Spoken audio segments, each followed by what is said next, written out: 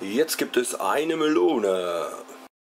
So, jetzt esse ich zwei Gurken, so wie sie sind und ohne alles. Nicht mal abwaschen durch, weil sie auf dem Garten sind.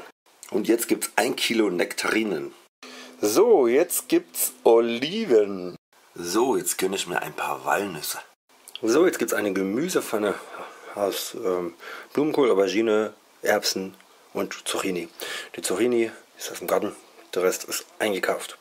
Und zum Glück habe ich noch dran gedacht, jetzt gibt es einen Gurkensalat, beziehungsweise gab es und das ist der klägliche Rest. Zwei Äpfel und eine Portion Oliven. So, und jetzt gibt es vier Bananen.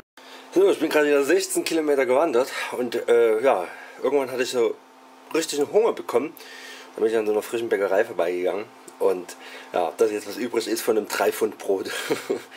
das ist jetzt sozusagen das Überbleibsel. Ich habe jetzt sozusagen äh, drei Pfund Brot gegessen. Und ich glaube, viel mehr wird es dann halt auch nicht. So, grüner geht's nicht. Der Morgen beginnt mit einem grünen Smoothie, der wirklich extrem grün ist. Und zwar, und auch ein bisschen rot, weil hier rote Beeteblätter drin sind. Die rote Beeteblätter, nehmt die rote Beeteblätter. Nehmt nicht die rote Beete, sondern die rote Beeteblätter. Hier ist alles drin, was auch eine rote Beete drin ist. Es ist meist für die meisten kostenlos als wegschmeißen. Und es ist viel intensiver und um Vielfaches besser, die rote Beeteblätter, als die rote Beete.